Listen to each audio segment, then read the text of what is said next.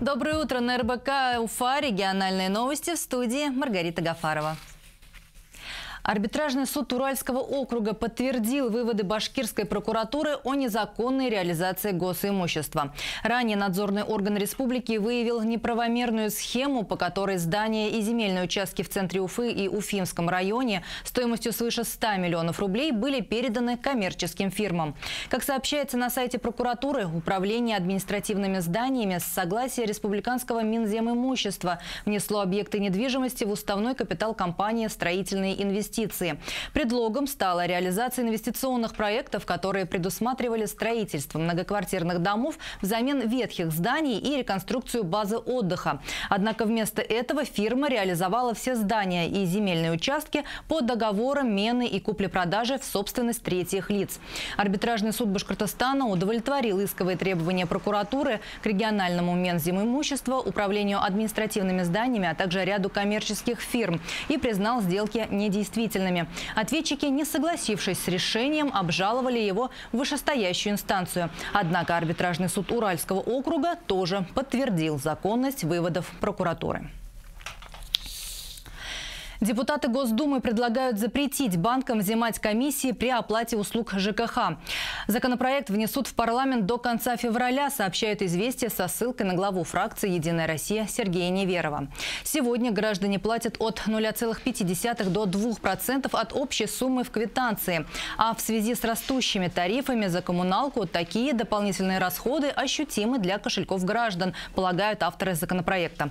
Сергей Неверов предлагает внести поправки в жилищный кодекс кодекс с установлением запрета взимать комиссию с коммунальных платежей или переписать пункты закона о банках и о национальной платежной системе. Инициативу поддержали в ЛДПР и Центробанке. А вот коммунисты пока повременили с изложением своей позиции, чтобы подробнее ознакомиться с предложением. В региональном штабе ОНФ говорят, что банки тоже несут свои издержки и их необходимо чем-то компенсировать.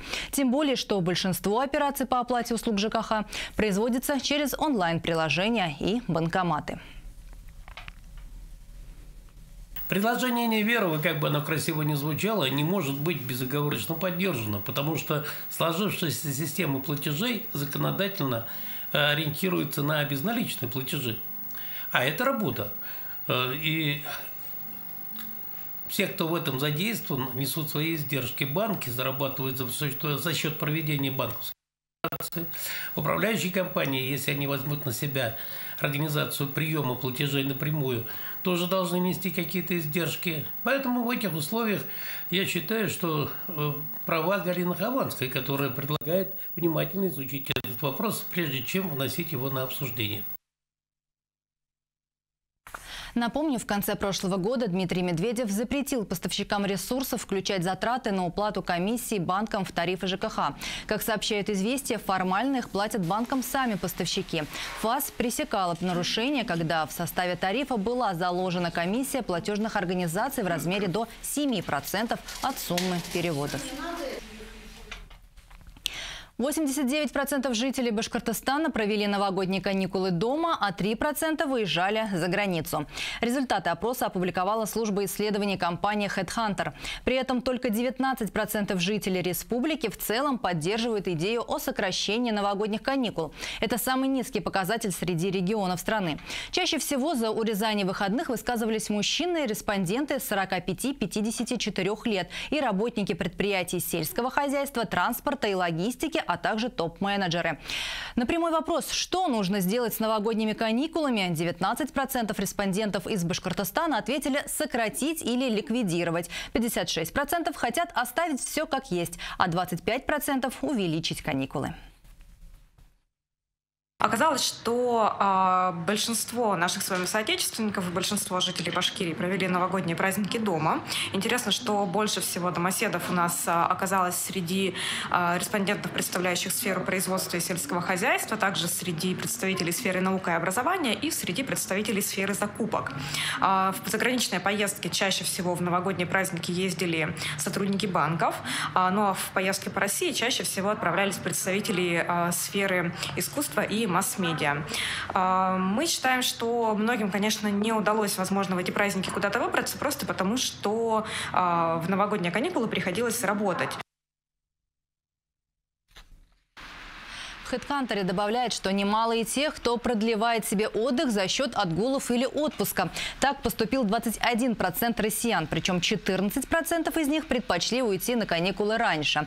Этот вариант предпочтительнее с финансовой точки зрения, считают эксперты. А теперь к анонсам. На заседании Общественного совета по развитию экспорта при главе Башкортостана подведут итоги внешней торговли региона за 9 месяцев прошлого года.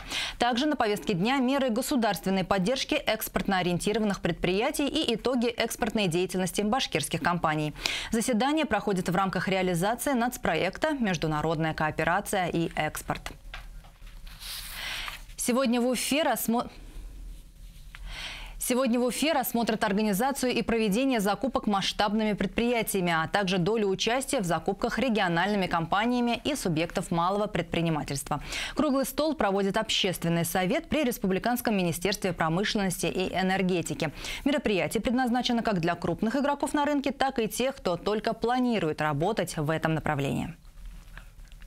И в завершение выпуска информация о курсах валют, установленных Центробанком на сегодня. Доллары и евро синхронно дешевеют. Американская валюта упала в цене на 7 копеек. В итоге курс 61,47. Евро минусует 33 копейки и 68 рублей 21 копейка. И лучшие обменные курсы к этому часу. Покупка и продажа долларов в банке Финам по 61,52 и 61,74 соответственно. Наиболее выгодный курс покупки евро тоже в банке Финам по 68 рублей 26 копеек и продажи в банке Нева по 68 рублей 47 копеек. На этом у меня все. Я с вами прощаюсь. До встречи в эфире. Не переключайтесь.